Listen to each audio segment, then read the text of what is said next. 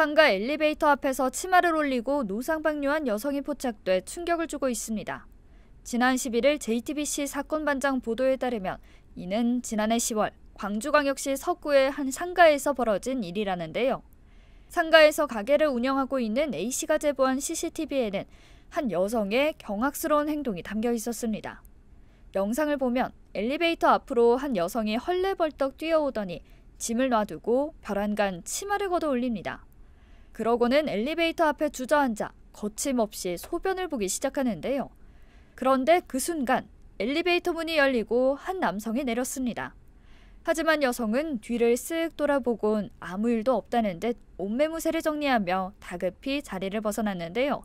제보자는 바로 옆에 어두운 골목이 있는데 하필 엘리베이터 앞에서 이런 짓을 했다며 황당함을 표했습니다.